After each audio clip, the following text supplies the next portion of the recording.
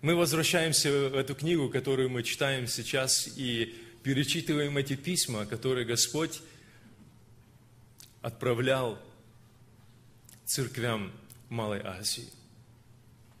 Поэтому, если Библия у вас с собой, давайте будем открывать книгу Откровения. И сегодня у нас третья глава этой книги и послание или письмо, которое Господь отправил церкви, которая находилась в Малой Асии, а, в Лидийском царстве, церковь, которая находилась в городе под названием Сардис. Итак, друзья, это послание, оно сосредоточено в шести стихах третьей главы. Оно очень сжатое, но конкретное, так как пишутся часто телеграммы или письма. Коротко, сжато, содержательно, о главном. Итак, мы читаем этих первых шесть стихов третьей главы. И здесь сказано так. «И ангелу Сардийской церкви напиши. Так говорит имеющий семь духов Божиих и семь звезд. Знаю твои дела. Ты носишь имя, будто жив, но ты мертв бодрствуй и утверждай прочее близкое к смерти. Ибо я не нахожу, чтобы дела твои были совершенны пред Богом моим. Вспомни, что ты принял и слышал, и храни, и покайся. Если же не будешь бодрствовать, то я найду на тебя как тать, и ты не узнаешь, в который час найду на тебя – Впрочем, у тебя в Сардисе есть несколько человек, которые не сквернили одежд своих и будут ходить со мной в белых одеждах, ибо они достойны. Побеждающий облечется в белые одежды, и не изглажу имени его из книги жизни, и исповедую имя его пред Отцом моим и пред ангелами его. Имеющий ухо, да слышит, что Дух говорит церквам. Вот такое краткое письмо было угодно Духу Святому через апостола, раба Божия Иоанна отправить в эту церковь.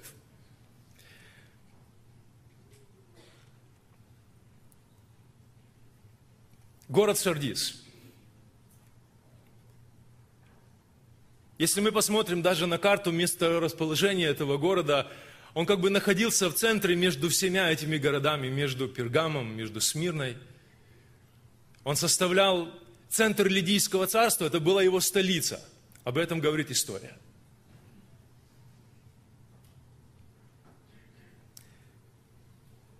Этот город, друзья, был очень особенным городом, потому что практически завоевать его было очень трудно.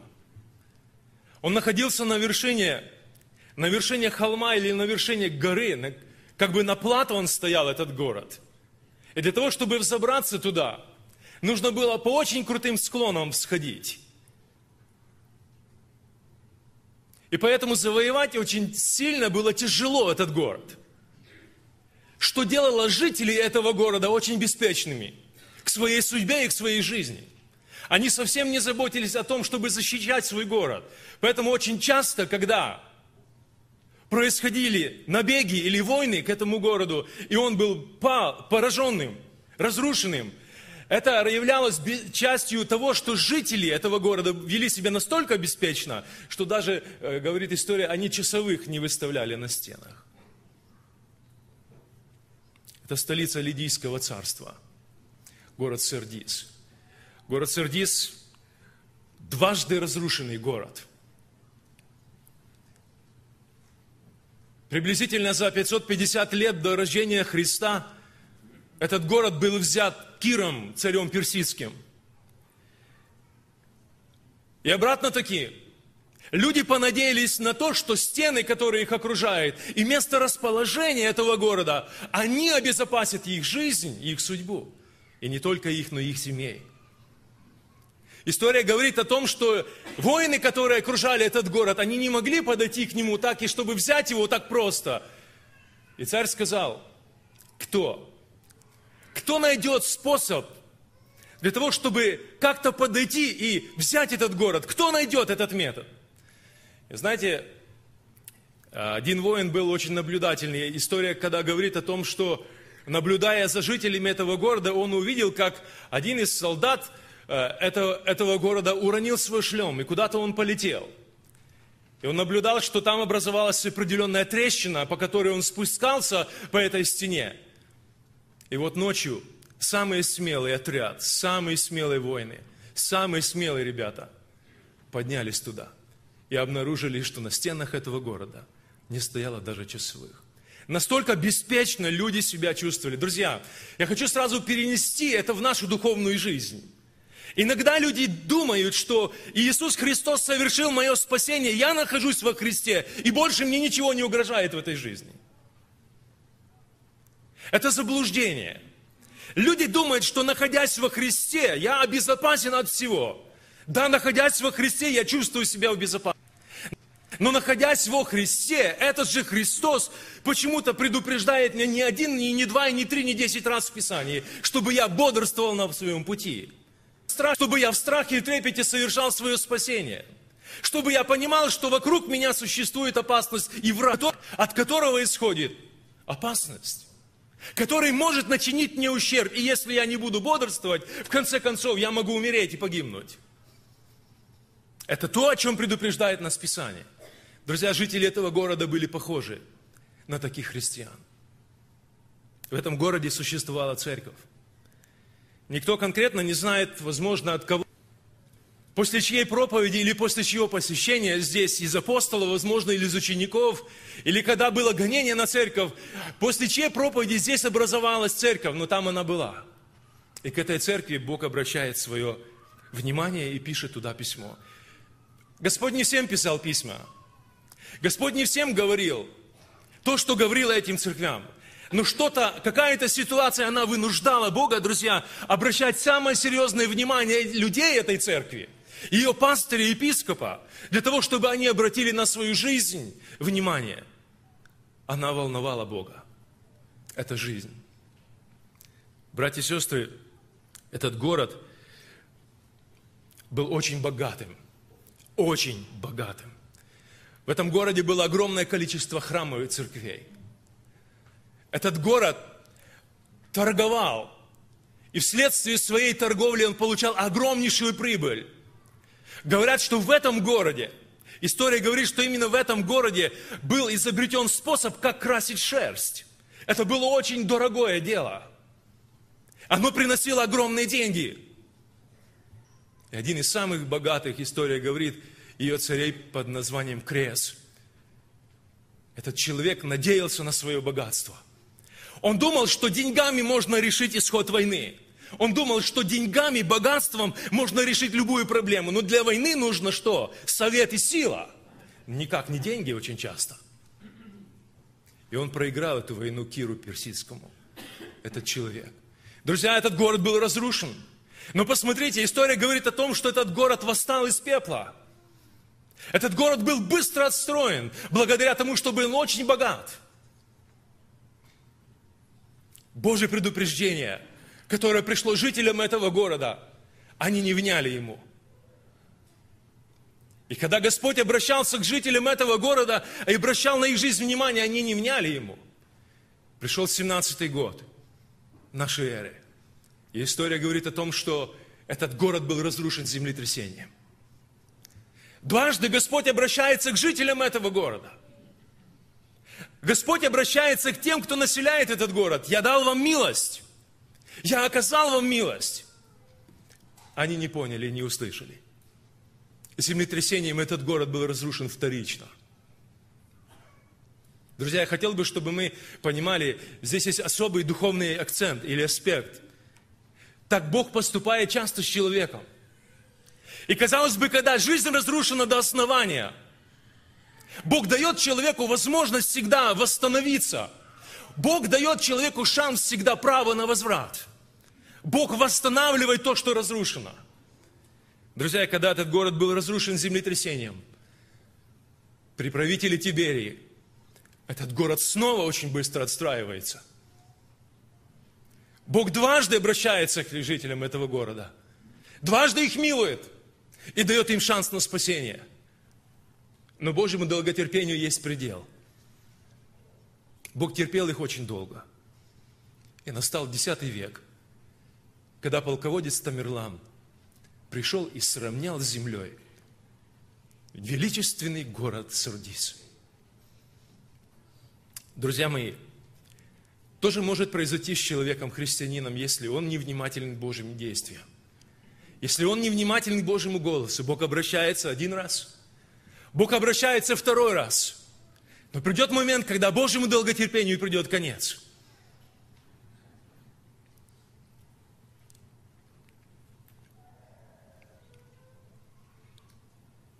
Сегодня это очень печальное состояние. Этого города нет на карте. Этот город уничтожен. Говорит история о том, что там маленькая-маленькая какая-то деревушка под названием Сарт. И там сегодня несколько людей живет. И когда туристы приезжают туда, они продают сувенирчики какие-то. И вот эти столбы, или вот эти разрушенные развалины, они сегодня свидетельствуют о некогда величественном городе, который был под названием Сардис. Это все, что осталось. Друзья, точно так, как памятник, который стоит сегодня в виде соляного столба, которым является бывшая жена Лота, которая не стала, она как памятник. Так и эти камни развалины сегодня, они служат как памятник всем. Божьей милости и долготерпения, и справедливого Божьего суда, и возмездия. Итак, друзья, в этом городе была церковь. И к этой церкви Господь написал письмо. Что-то не устраивало Господа в жизни этих людей. И поведение их, и образ их жизни, они вынудили Бога пойти на этот шаг, и чтобы дать о себе знать, Господь говорит им, ангелу Сардийской церкви напиши, тому, кто был старшим там, тому, кто был ответственным там. Тот, кто находился в Божьей руке, потому что когда мы перевернем одну страницу, тайна семи звезд, которые ты видел в деснице моей, из семи золотых светильников есть я, семь звезд. Суть, ангелы семи церквей. И посмотрите, когда Христос обращается к этой церкви, Он говорит, так говорит имеющий семь духов Божьих и семь звезд. Тот, который держит в руках своих семь этих епископов, этих церквей. К ним обращается Бог. К ним его послание прежде всего. Но если мы очень внимательны, то шестой стих этого послания заканчивается следующими словами. «Имеющий ухо да слышит, что Дух говорит уже кому? Церквам». То есть непосредственно каждому члену церкви, непосредственно каждому человеку, который находился в этой церкви. Вот так делает Бог обращаясь к одному, казалось бы, имея претензии к одному, он говорит лично каждому. Если мы внимательны Божьему голосу. Состояние Сардийской церкви, оно вызвало печаль у Христа. Печаль, и Христос дает оценку. Его оценка, заметьте, братья и сестры, Божья оценка меня и вас, она самая справедливая. Люди могут ошибаться, они могут смотреть на меня и говорить, о, смотри, примерный христианин – примерный семьянин, примерный рабочий. И люди могут ошибаться. Люди могут не знать, что наполняет сердце этого человека, кем он является на самом деле внутри по-настоящему. Люди ошибочно могут отдавать оценку. Бог никогда. Бог говорит правду. Бог говорит всегда правду, какой бы горькой она ни была. Почему? Потому что это его любовь. Он не желает, чтобы человек оставался в этом состоянии, и Бог желает дать шанс на исправление. Вот таков наш Бог. Печаль Христа выражалась в следующих словах. Ты носишь имя, будто жив, но ты мертв. Скажите, состояние этой церкви, оно ранило сердце Христа или нет? Вот тот, который жизнь отдал за церковь свою – тот, который своей кровью искупил ее себе в собственность. Тот, который не пожалел ради этих людей самого себя. Когда он посмотрел на состояние этих людей, когда он увидел положение этих людей, он воскорбел. и сделал правильную оценку, он говорит им, ты носишь имя, будто ты жив, но ты мертв. Претензия Христа, друзья, к этой церкви, она заключалась в следующих словах. Христос говорит, что «Ибо я не нахожу, чтобы дела твои, чтобы дела твои были совершенны пред Богом моим». Второй текст этого послания. Что это значит? Претензия Христа заключалась в следующих словах. Дела твои несовершенные. Другими словами, они никогда не доведены до конца, эти дела – эти дела, они делались, если и делались, то они делались не во славу Божию, а для того, чтобы, может быть, по любопрению или тщеславию, для того, чтобы прославить себя, для того, чтобы видели их люди. Или, может быть, по привычке. Но никак не входило в расписание этих людей делать дело, потому что к этому подталкивала их вера. Претензия Христа к этой церкви была очень серьезной. Эта церковь, ввиду своего положения и времени – она оказалась настолько религиозной, что не заметила, как стала духовно мертвой. Она приобрела форму и очертания церкви, но содержание глубокого духовного она лишилась. Она лишилась присутствия Божьего Духа. И в этой церкви Христос остался стоять за дверью.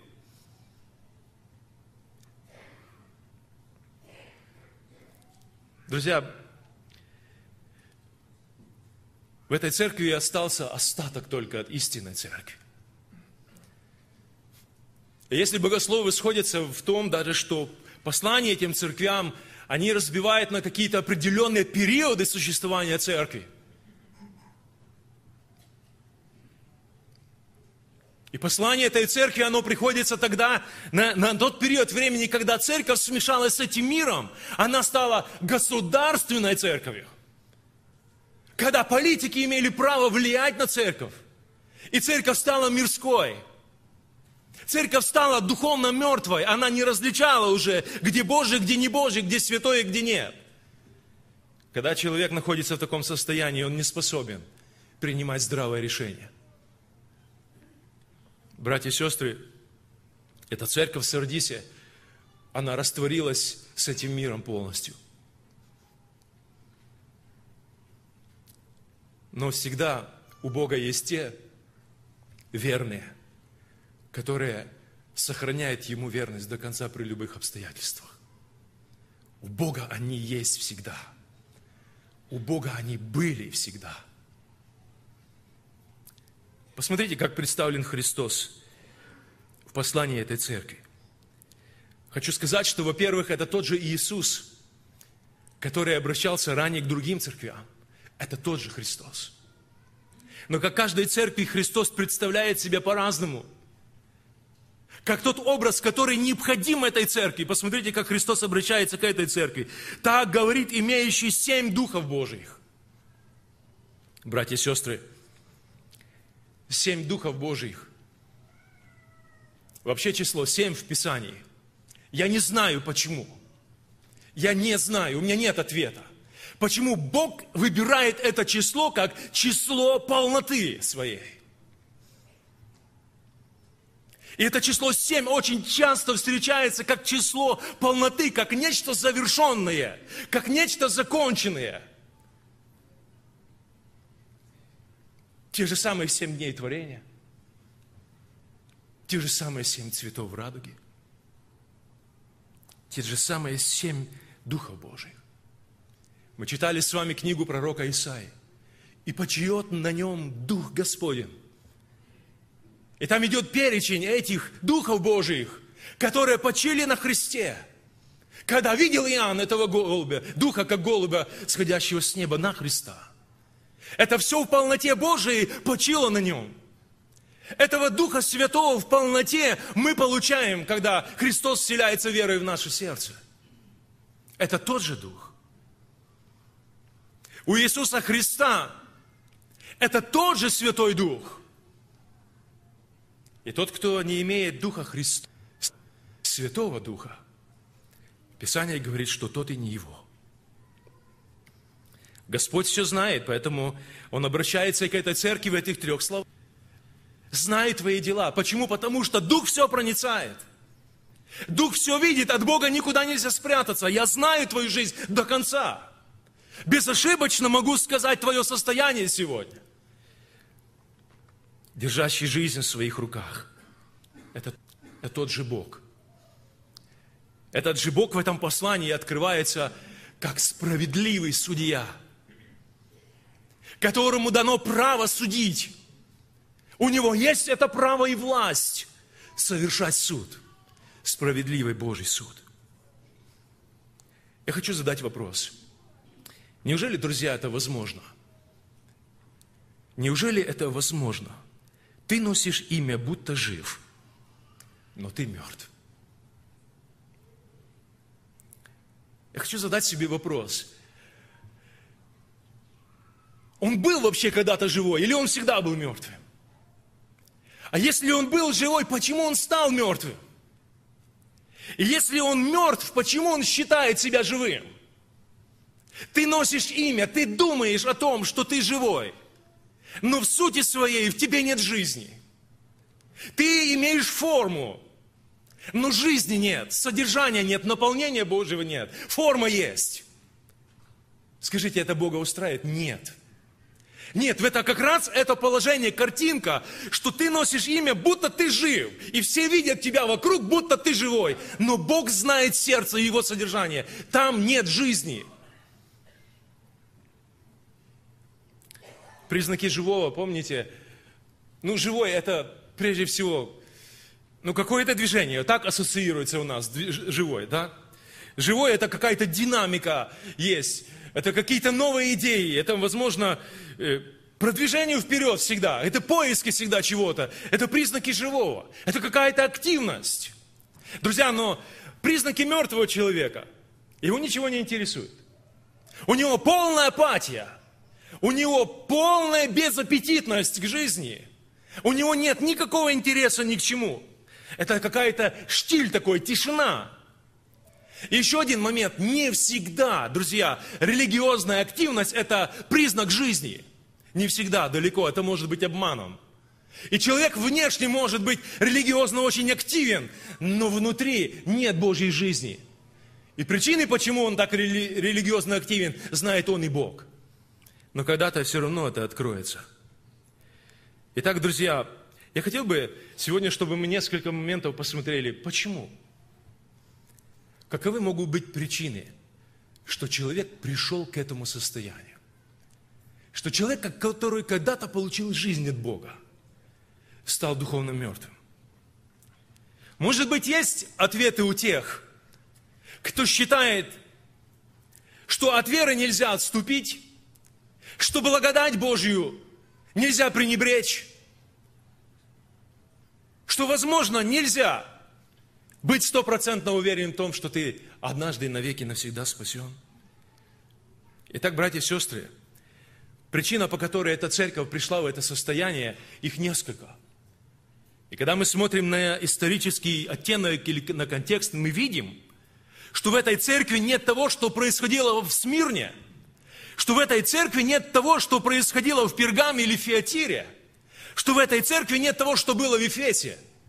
Что отличало эту церковь от всех остальных самым радикальным образом. Эта церковь, друзья, отличала то, что она жила, когда отсутствовали гонения на церковь.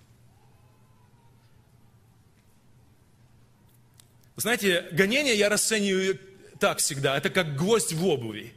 Помните, кто ходил, и вот гвоздик вылезал в обуви?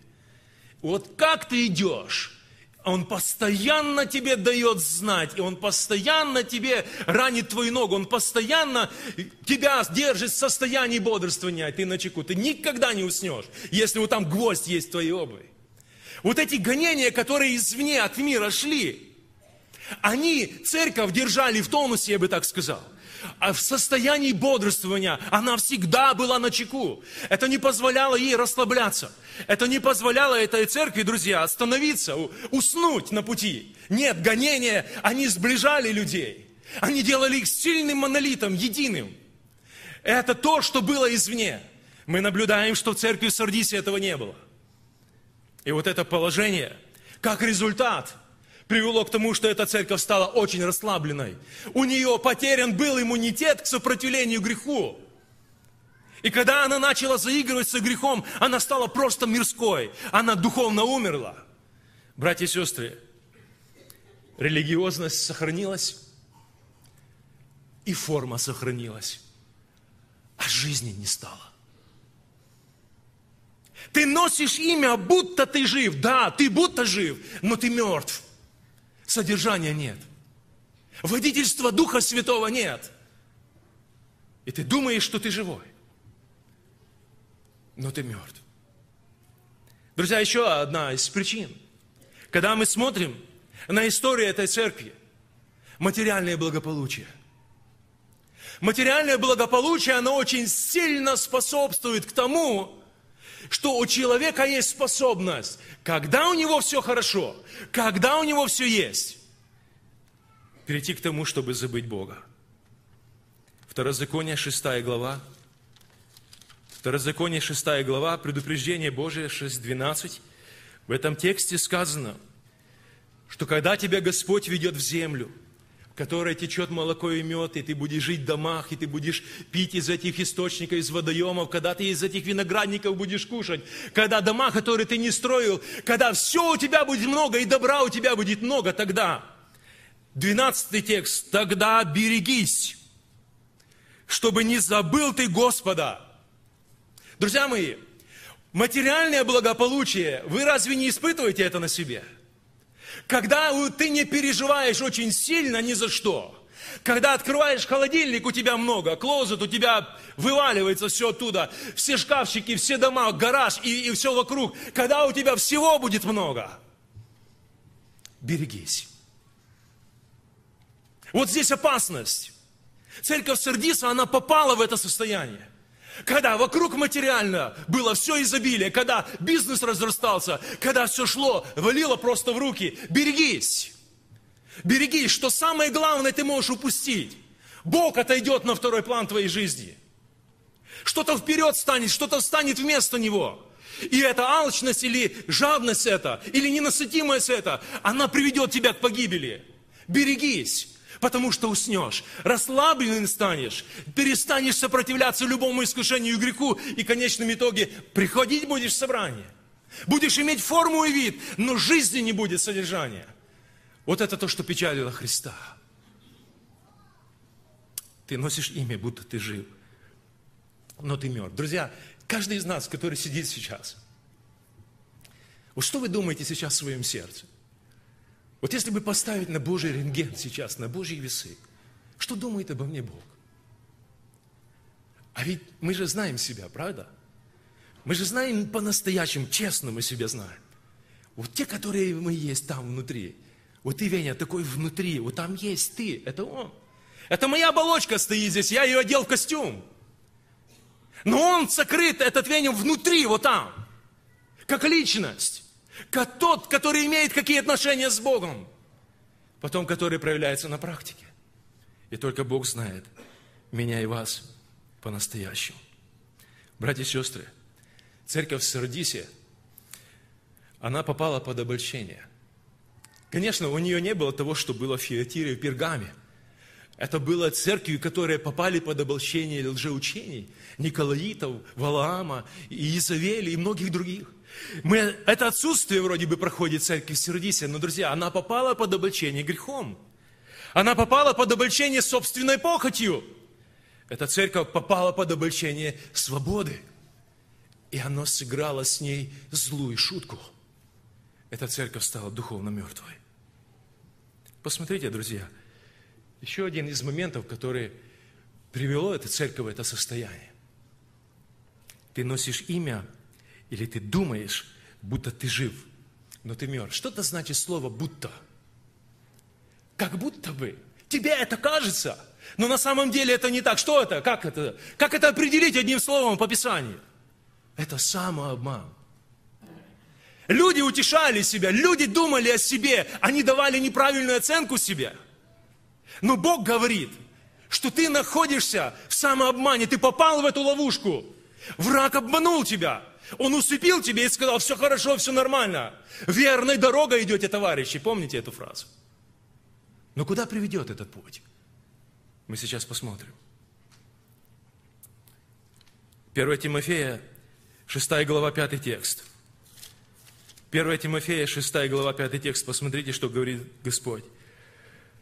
Пустые споры между людьми, поврежденного ума, людьми чуждыми истины, которые думают. Заметьте, это тот же прием, который Господь употребляет в послании Сардийской церкви. Они думают, что благочестие служит для привытка. Они так думают, но не так думает Бог. Очень много других мест есть в Писании. Когда язычники молятся, Христос говорил на горной проповеди, они тоже что думают? Они думают, им так кажется, что в многословии своем они будут услышаны.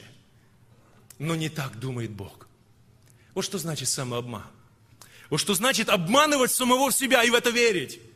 В это верить, друзья. В это верить, что можно иметь вид благочестия, а жить как хочешь. Что можно видимую форму христианства иметь, а поступать как тебе нравится. Поступать под обстоятельства. Друзья, но это не так у Бога. Это страшная вещь, самообман, под который попала эта сардийская церковь. Что думает Бог? А Бог говорит очень коротко, знаю твои дела. Посмотрите, знаю твои дела. Оказывается, наши дела определяют нашу суть. То, что мы делаем, оно определяет нас, живые мы или мертвые. Поступки наши, они свидетельствуют о том, каков ты есть. Братья и сестры, вера – это не только внутреннее состояние – Вера – это не просто верить в существование Бога, признавать Его власть, признавать Его авторитет, признавать то, что Он есть. Но верить – это что-то делать. И это называется в Писании делом веры. Вера наша, она должна подтверждаться нашими делами.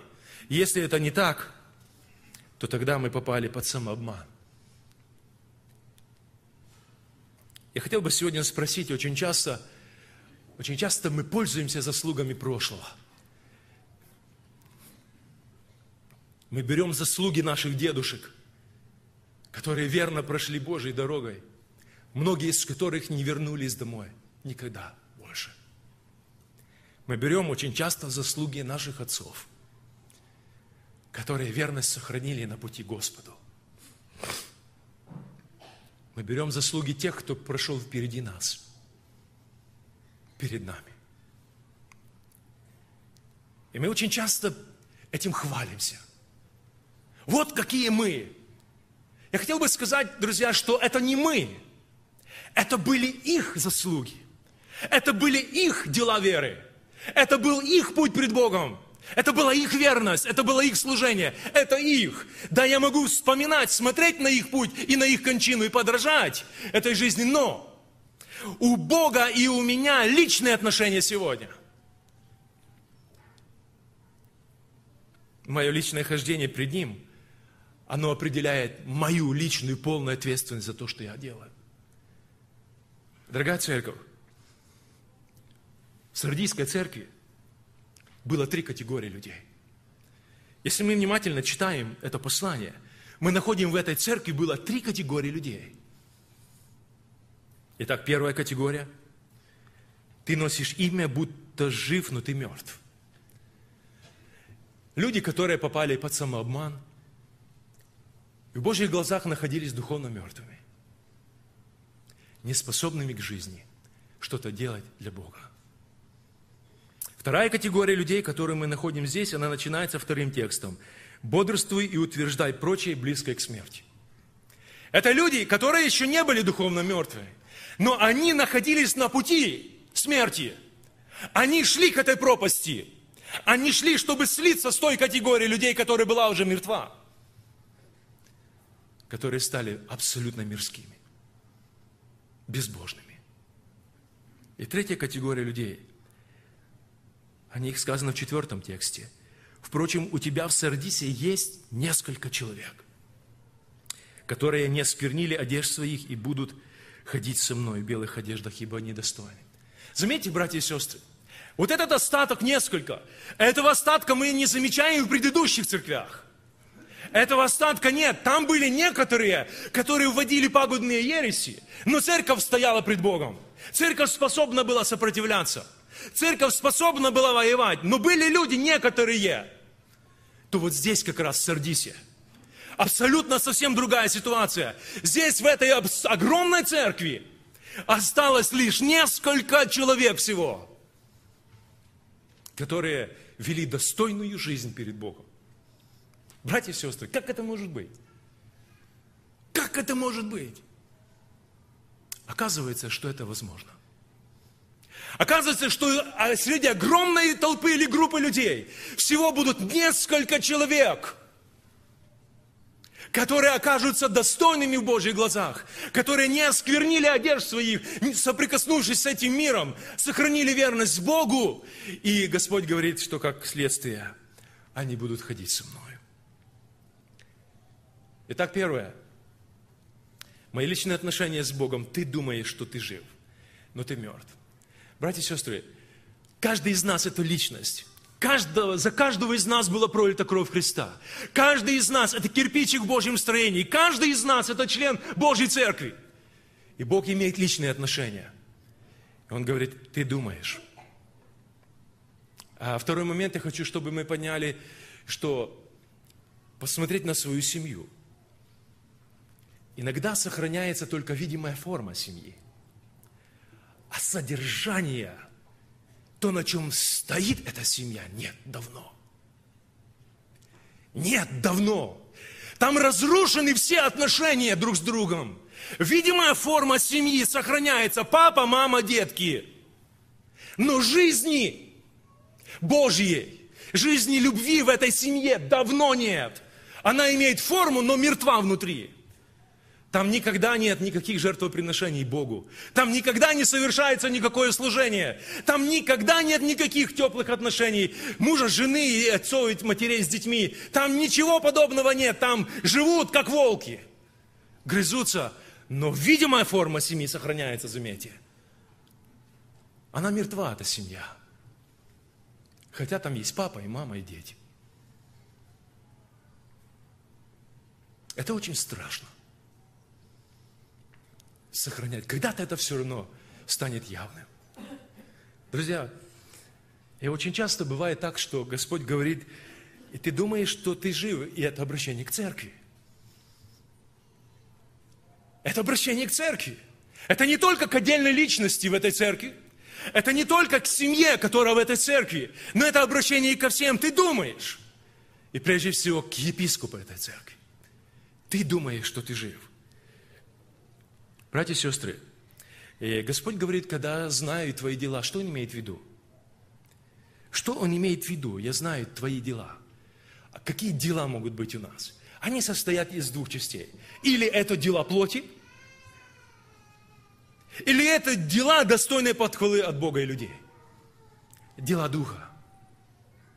Дела плоти известны. Помните это место Писания, Галатам 5 глава? Дела плоти известны. Они суть. Идет длинное перечисление. Друзья, кстати, там не только самый главный грех прелюбодеяния, нет, но в этом же списке стоит и вражда, и ссоры. Это то же самое. Мы делим, Бог нет. Мы делим эти грехи. Но в Божьих глазах грех есть грех, какой бы он ни был. Мы делим на мелкие и большие, на тяжкие и не очень, на те, которые заслуживают наказания или нет, которые можно просить, которые... Мы делим, Бог нет. И моя жизнь, она состоит или из дел плоти, или же я духом умершляю то, что сначала даже в моем сознании появляется как мысль. Но, друзья мои, мысль очень часто это совершенное дело. Мысль это очень часто совершенное дело, которое я уже сделал.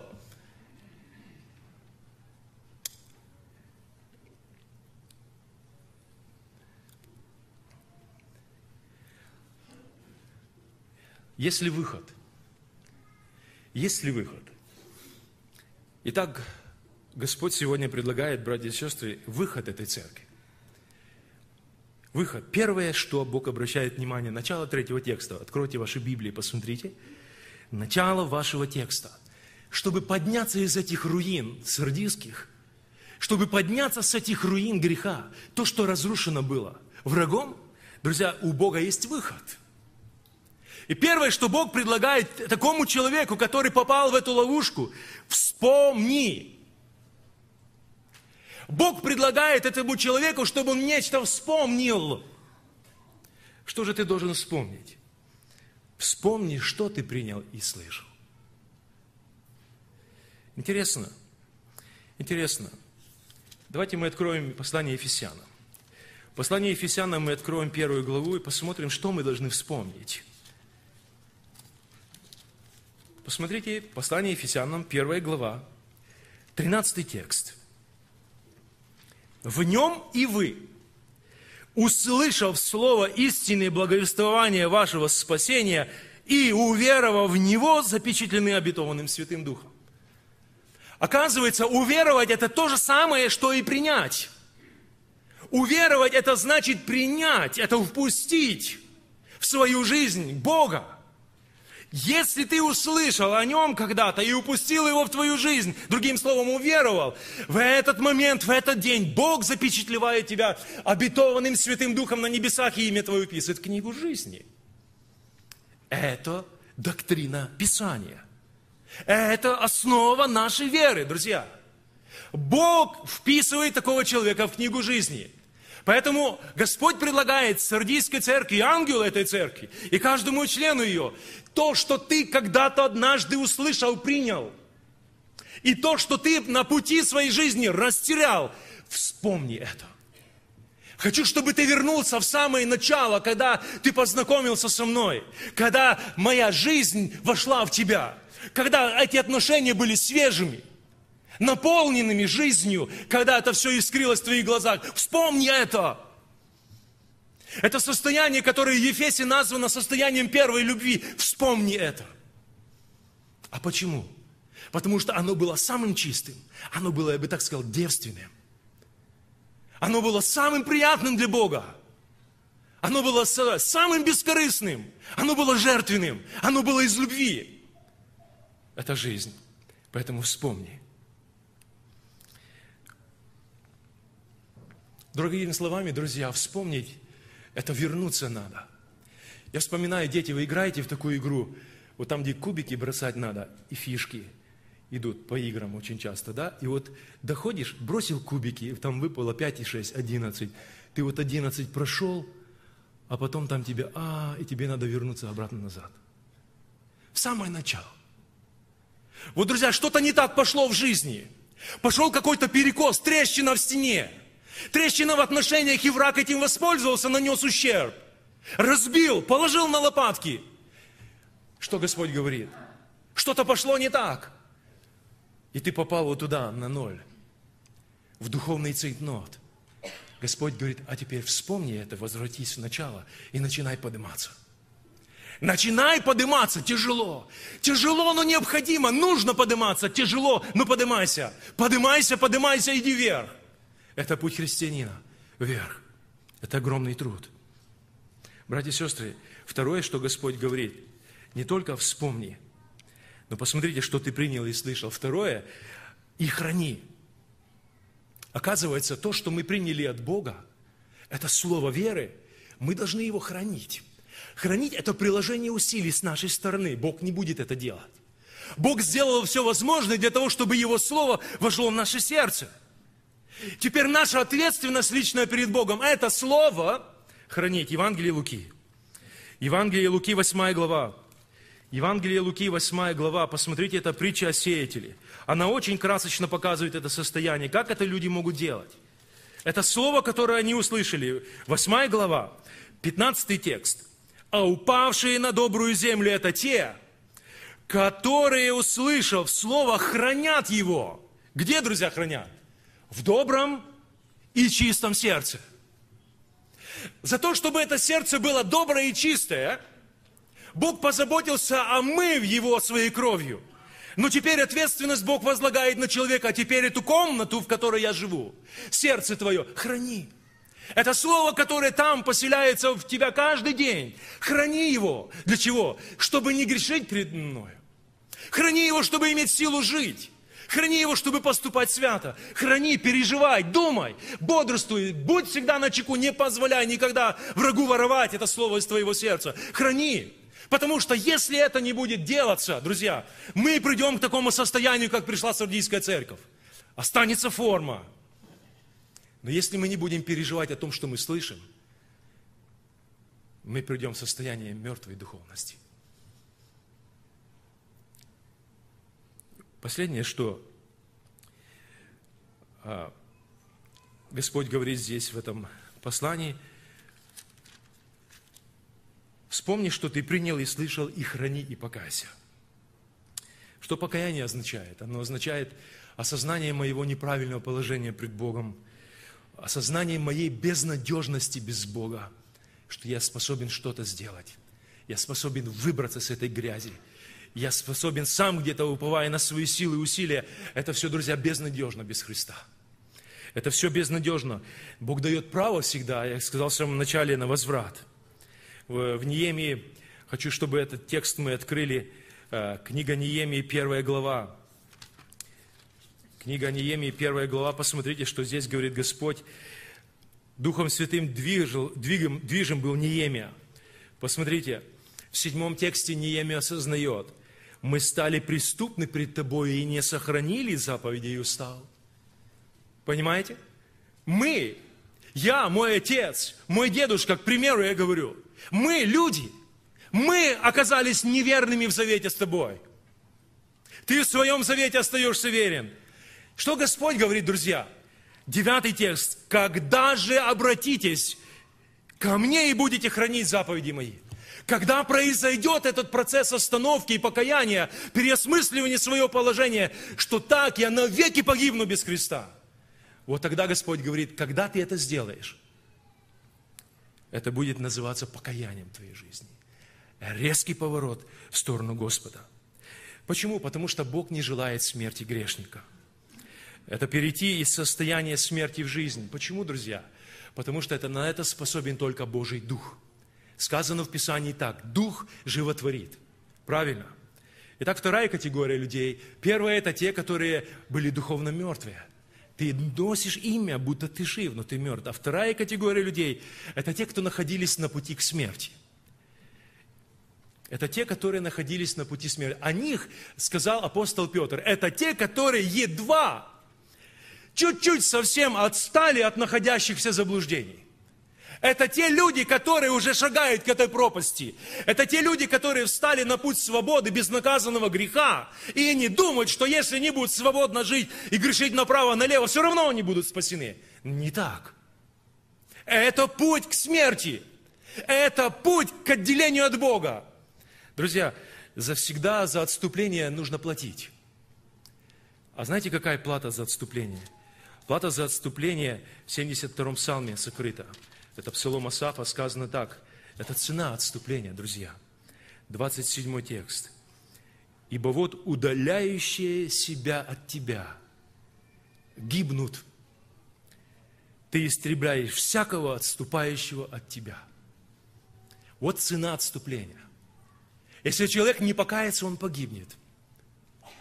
Удаляющие себя от тебя, они гибнут, потому что удаляются от жизни – Бог есть жизнь. Если удаляешься от жизни, ты в состоянии смерти идешь. А мы перешли от состояния смерти в жизнь. Друзья мои, если человек грешит и думает, что это безвредно и безопасно, он обманут. Нужно уходить. Нужно убегать от этого состояния, от этой пропасти. Нужно убегать от дружбы с этими людьми, которые тянут тебя в состояние смерти. И Иаков говорит, а теперь знай, брат, сестра, что тот, который обратил грешника от ложного пути его, что сделал? Спас душу его от смерти. Душа его приближалась к смерти. Но если ты отвратил грешника, остановил его, помог ему развернуться и пойти к Богу, ты душу его спас от смерти. Братья и сестры, третья категория людей. Это те, которые названы здесь несколько человек. Знаете, я очень рад. Я очень рад, что в этой церкви были эти несколько человек. Я сказал, что они у Бога были всегда, они есть у Бога всегда. Они будут у Бога всегда. Это не только Ной. Друзья, это не только Лот. Это не только пророк Илья или семь тысяч в Израиле. Это не только Авдий, который был в доме Ахава, богобоязненный от юности своей. Это не только Захария и Елизавета. Это не только Анна или Симеон, друзья. Нет. Я хочу задать вопрос себе. Есть ли в этом списке этих нескольких мое имя?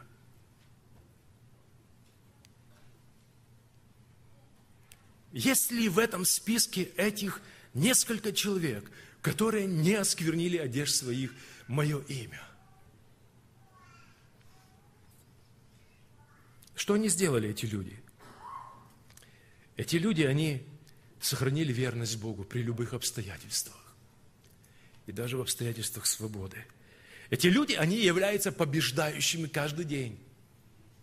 Эти люди в Божьих глазах, они сохранили свое достоинство.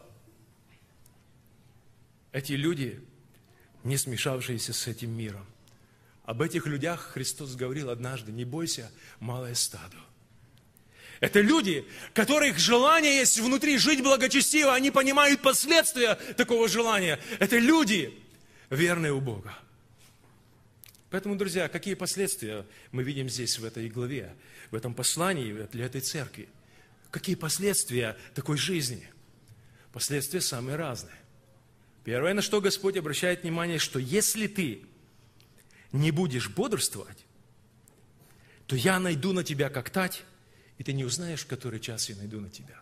Вот если так холодком будем жить, вот если так расслабленно будем жить, как будто у нас еще минимум 300 лет впереди, вот если так будут отношения с Богом у нас такие серые, обыденные или вообще никаких, Господь говорит, я найду на тебя как тать. Божье предложение. Скажите, это совет или приказ? Братья и сестры. Вот в Ладикийской церкви, когда, может быть, когда-то будем читать, там сказано, советую тебе. А вот здесь бодрствуй. А вот здесь вспомни, храни, покайся. Это приказ. Это повеление. И другими словами, дважды в этом послании, в этом письме Господь говорит, бодрствуй. Будь начеку, потому что если ты не будешь бодрствовать над своим путем, над отношениями со мной, я найду на тебя как тать. Что это значит? Если бы ведал хозяин дома, в который придет вор. Помните? И так и вы бодрствуете, да сподобитесь избежать всех всех будущих бедствий, которые грядут на вселенную. Почему? Потому что, если ты не будешь бодрствовать, они тебя застигнут расплох. Для того, чтобы нам смотреть за собой надо. И Бог поместил нас в одну семью, чтобы наставлять друг друга каждый день, доколе есть ныне. Для чего? Чтобы кто-нибудь из вас, обольстившись грехом, не ожесточился, не отступил от Бога живого. Какое обетование Бог дает нам в этом послании? Какая награда будет тем, друзья, которые сохранят верность Богу при свободе, при гонениях, при любых обстоятельствах? Посмотрите, что Господь говорит. Они будут ходить со мною в белых одеждах. Я не знаю, почему Бог выбрал белый цвет. Братья и сестры, почему? Я не знаю. Но в Писании есть два значения как минимум, что означает этот цвет. Прежде всего, этот цвет означает цвет победителя. Потому что когда мы читаем это Евангелие или это Откровение, мы смотрим, что в этой главе, скажем, в 19 главе этого послания сказано так.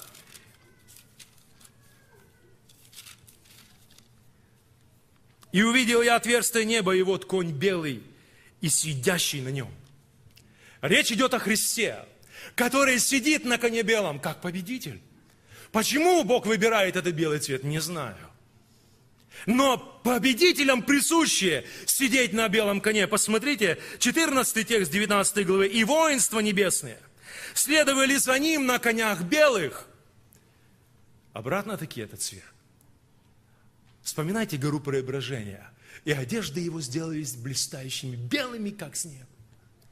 Вспомните ангелов, которые были у гроба, там, куда пришли женщины. Они увидели ту же самую картину. Обетование Божье, которое сокрыто побеждающим, оно тоже говорит о том, что я одену их белые одежды. Девятая глава книги Откровения, здесь сказано так. шестая глава книги Откровения, здесь сказано так. «И даны были каждому из них белые одежды». Это то, что Бог дает. Бог даст белый камень. Посмотрите, все связано. Но кому? Победителям. Побеждающим Бог даст. Друзья мои, весон чистый и белый. Это праведность святых, да, сказано так в Божьем Слове.